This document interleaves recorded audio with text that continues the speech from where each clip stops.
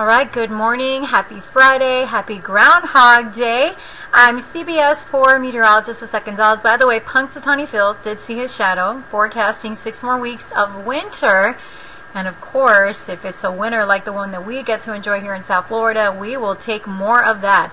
Right now, it is a glorious start to the day. As you can see, the sun breaking through the clouds from our CBS 4 camera in Doral. We've had these clouds moving in from the Gulf uh, on and off again throughout the morning, but it has been quiet and dry. Winds actually calm in Miami Homestead out of the northwest, 3 6 miles per hour in Broward, out of the northeast through the Keys, and a mixed bag of temperatures once again. Yesterday it was cooler in Miami Dade, and now this morning it's cooler in Broward, and that's all due to the wind, which is flowing over the land in Broward, keeping us a little cooler with 65 in Fort Lauderdale, 63 in Pompano Beach, However, a bit milder in Miami with 68 where winds are a little more calm, 62 in Kendall, 70 in Marathon. It will be warmer this afternoon, around 80 degrees with a chance for some spotty showers. So just keep the umbrella close by later in the day, especially this evening and tonight as a weak front moves in.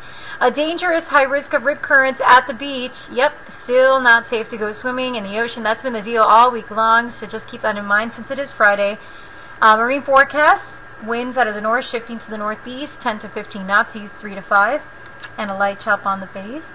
And tonight will be cool, mostly cloudy with low to mid 60s and scattered showers possible. Hey, Super Bowl Sunday! If you are planning a watch party, maybe grilling out in your backyard, uh, hosting family and friends, and Sunday afternoon 79 with the chance for scattered showers into the evening for a kickoff, spotty showers and the mid 70s. So, we're in for a little bit of a temperature roller coaster ride. 80 degrees today, 74 tomorrow, cooler breeze with a chance for those passing showers.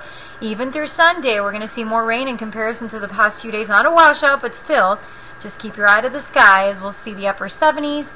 And then another front moves in early next week, but our temperature is not changing much. Will be seasonable, lows in the upper 60s, highs in the upper 70s as we into Monday, Tuesday, and Wednesday. You can check in on the weather any time of day right here at cbsmiami.com.